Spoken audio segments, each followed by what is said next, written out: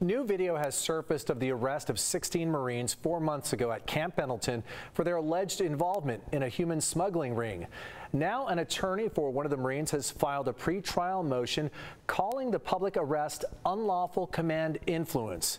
News 8's Heather Hope spoke with the attorney and joins us with that video. Heather? Carlo, we have obtained clips of the arrest video on base, while the Marines attorney says those are just part of a 15-minute long video clip she calls an embarrassment to all those charged and not convicted yet in this case.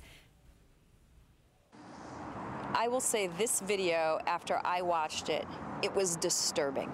Footage has surfaced of the July 25th arrest where over a dozen Camp Pendleton Marines were taken into custody for an alleged smuggling ring. The media officer for the Comstrat recorded it, and we just learned about it about a week and a half ago.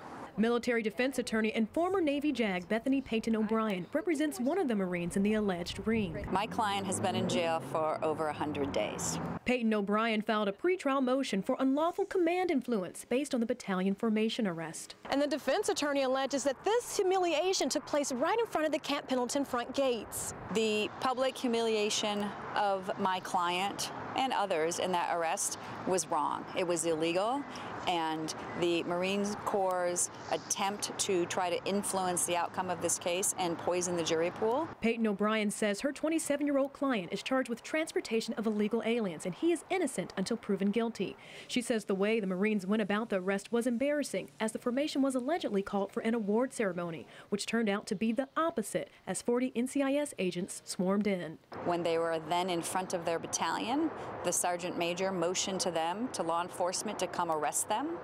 They were then arrested in front of their battalion handcuffed and taken away. In a statement from Marine First Lieutenant Cameron Edinburgh, 16 of the 24 you cited were detained on July 25th. The other eight were questioned for alleged involvement in drug-related offenses. 13 Marines have been charged. We have not released the video publicly and do not intend to do so. The video was filmed as a way to document the detainments that took place in an unbiased, non-editorialized manner. There is definitely a way to discourage Marines from committing misconduct, but having a public humiliating arrest is wrong.